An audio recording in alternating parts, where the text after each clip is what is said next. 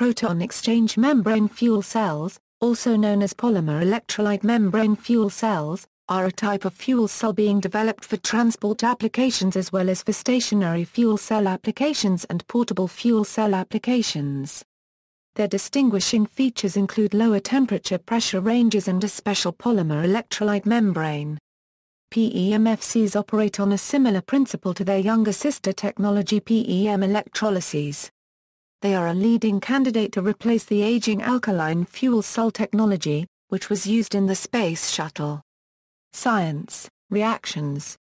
A proton exchange membrane fuel cell transforms the chemical energy liberated during the electrochemical reaction of hydrogen and oxygen to electrical energy, as opposed to the direct combustion of hydrogen and oxygen gases to produce thermal energy.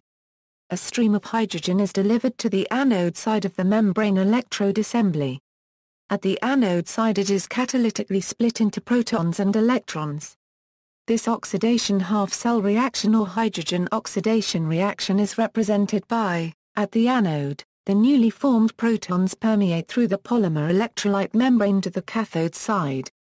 The electrons travel along an external load circuit to the cathode side of the MEA, thus creating the current output of the fuel cell. Meanwhile, a stream of oxygen is delivered to the cathode side of the MEA. At the cathode side oxygen molecules react with the protons permeating through the polymer electrolyte membrane and the electrons arriving through the external circuit to form water molecules. This reduction half-cell reaction or oxygen reduction reaction is represented by, at the cathode. Overall reaction, the reversible reaction is expressed in the equation and showed the reincorporation of the hydrogen protons and electrons together with the oxygen molecule and the formation of one water molecule. Polymer electrolyte membrane. To function, the membrane must conduct hydrogen ions but not electrons as this would in effect short-circuit the fuel cell. The membrane must also not allow either gas to pass to the other side of the cell, a problem known as gas crossover. Finally, the membrane must be resistant to the reducing environment at the cathode as well as the harsh oxidative environment at the anode. Splitting of the hydrogen molecule is relatively easy by using a platinum catalyst. Unfortunately however, splitting the oxygen molecule is more difficult, and this causes significant electric losses. An appropriate catalyst material for this process has not been discovered, and platinum is the best option. One promising catalyst that uses far less expensive materials are nitrogen, and carbon euro has long been known to promote the necessary reactions, but at rates that are far too slow to be practical. Recently, a Canadian research institute has dramatically increased the performance of this type of iron-based catalyst. Their material produces 99 areas per centimeter 3 at 0.8 volts, a key measurement of catalytic activity. That is 35 times better than the best non-precious metal catalysts so far, and close to the Department of Energy's goal for fuel cell catalysts, 130 areas per centimeter 3. It also matches the performance of typical platinum catalysts. The only problem at the moment is its durability because after only 100 hours of testing the reaction rate dropped to half. Another significant source of losses is the resistance of the membrane to proton flow, which is minimized by making it as thin as possible, on the order of 50 a micrometer. A cheaper alternative to platinum is cerium, 4, oxide catholicate used by Professor Vladimir Matolín in the development of PEMFC. The PEMFC is a prime candidate for vehicle and other mobile applications of all sizes down to mobile phones, because of its compactness. However, the water management is crucial to performance, too much water will flood the membrane too little will dry it. In both cases, power output will drop. Water management is a very difficult subject in PEM systems, primarily because water in the membrane is attracted toward the cathode of the cell through polarization. A wide variety of solutions for managing the water exist including integration of electroosmotic pumps.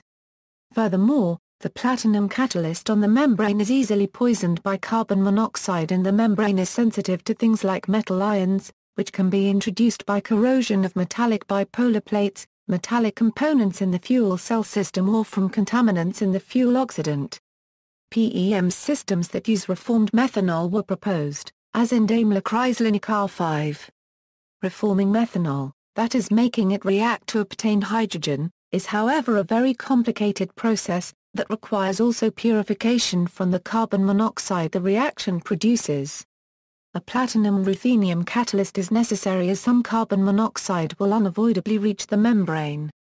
The level should not exceed 10 parts per million. Furthermore, the startup times of such a reformer reactor are of about half an hour. Alternatively, methanol, and some other biofuels can be fed to a PEM fuel cell directly without being reformed, thus making a direct methanol fuel cell. These devices operate with limited success. The most commonly used membrane is Nafion by DuPont, which relies on liquid water humidification of the membrane to transport protons. This implies that it is not feasible to use temperatures above 80 to 90 AA degrees Celsius, since the membrane would dry. Other, more recent membrane types, based on polybenzimidazole or phosphoric acid, can reach up to 220 AA degrees Celsius without using any water management. Higher temperature allow for better efficiencies, power densities, ease of cooling, reduced sensitivity to carbon monoxide poisoning and better controllability. However, these recent types are not as common. Efficiency The maximal theoretical efficiency applying the Gibbs free energy equation Ig equals minus 237.13 a kilojoule per mole and using the lower heating value of hydrogen is 83% at 298 K. The practical efficiency of a PEMs is in the range of 40 a euro 60% using the higher heating value of hydrogen. Main factors that create losses are activation losses, ohmic losses, mass transport losses, catalyst research. Much of the current research on catalysts for PEM fuel cells can be classified as having one of two main objectives, to obtain higher catalytic activity than the standard carbon-supported platinum particle catalysts used in current PEM fuel cells, to reduce the poisoning of PEM fuel cell catalysts by impurity gases. Examples of these two approaches are given in the following sections. Increasing catalytic activity, as mentioned above, platinum is by far the most effective element used for PEM fuel cell catalysts, and nearly all current PEM fuel cells use platinum particles on porous carbon supports to catalyze both hydrogen oxidation and oxygen reduction. However, due to their high cost, current pint per carat catalysts are not feasible for commercialization. The U.S. Department of Energy estimates that platinum-based catalysts will need to use roughly four times less platinum than is used in current PEM fuel cell designs in order to represent a realistic alternative to internal combustion engines. Consequently, one main goal of catalyst design for PEM fuel cells is to increase the catalytic activity of platinum by a factor of 4 so that only one-fourth as much of the precious metal is necessary to achieve similar performance. One method of increasing the performance of platinum catalysts is to optimize the size and shape of the platinum particles. Decreasing the Partislesa Euro unregistered trademark size alone increases the total surface area of catalyst available to participate in reactions per volume of platinum used, but recent studies have demonstrated additional ways to make further improvements to catalytic performance. For example, one study reports that high-index facets of platinum nanoparticles, provide a greater density of reactive sites for oxygen reduction than typical platinum nanoparticles. A second method of increasing the catalytic activity of platinum is to alloy it with other metals.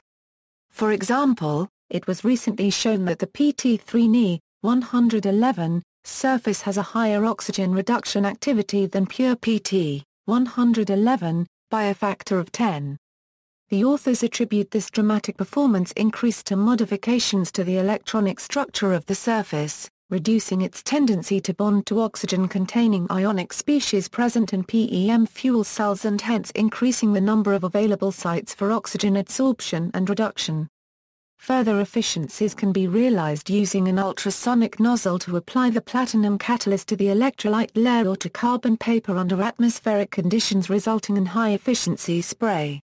Studies have shown that due to the uniform size of the droplets created by this type of spray, due to the high transfer efficiency of the technology, due to the non-clogging nature of the nozzle and finally due to the fact that the ultrasonic energy deagglomerates the suspension just before atomization, fuel cells MEAs manufactured this way have a greater homogeneity in the final MEA, and the gas flow through the cell is more uniform, maximizing the efficiency of the platinum in the MEA.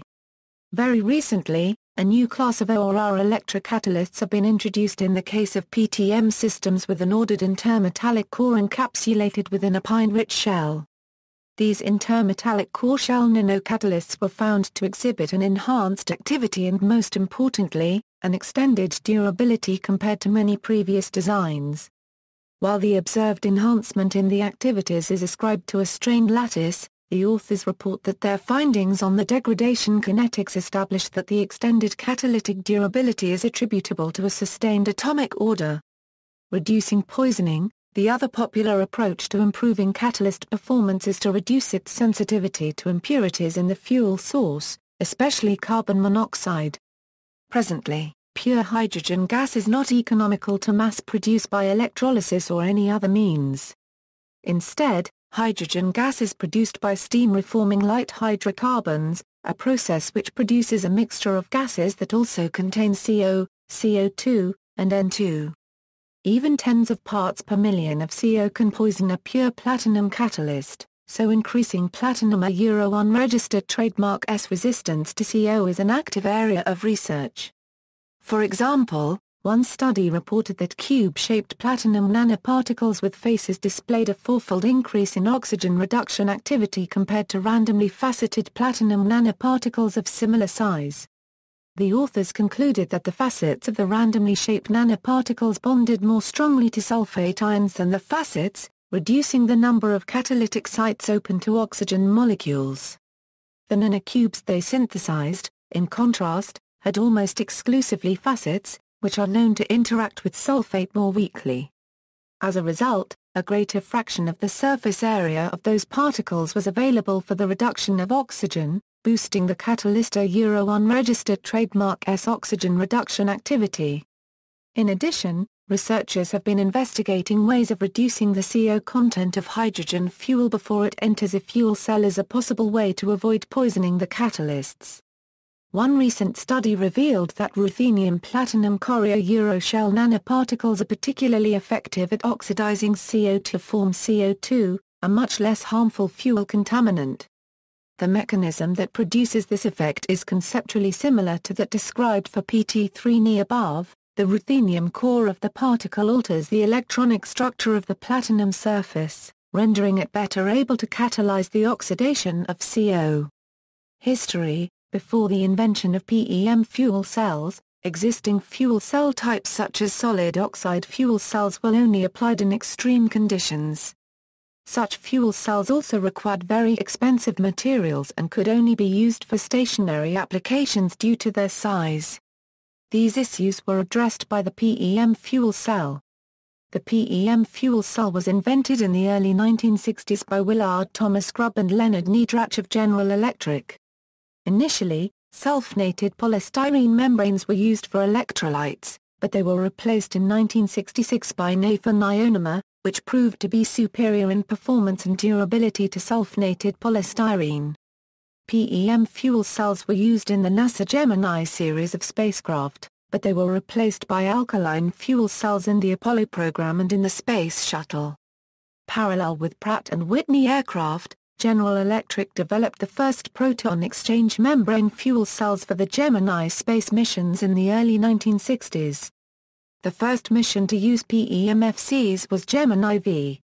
However, the Apollo space missions and subsequent Apollo-Soyuz, Skylab and Space Shuttle missions used fuel cells based on Bacon's design, developed by Pratt & Whitney aircraft. Extremely expensive materials were used and the fuel cells required very pure hydrogen and oxygen. Early fuel cells tend to require inconveniently high operating temperatures that were a problem in many applications. However, fuel cells were seen to be desirable due to the large amounts of fuel available. Despite their success in space programs, fuel cell systems were limited to space missions and other special applications, where high cost could be tolerated. It was not until the late 1980s and early 1990s that fuel cells became a real option for wider application base.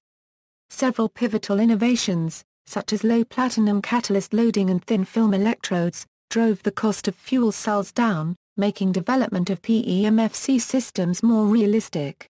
However, there is significant debate as to whether hydrogen fuel cells will be a realistic technology for use in automobiles or other vehicles. See also.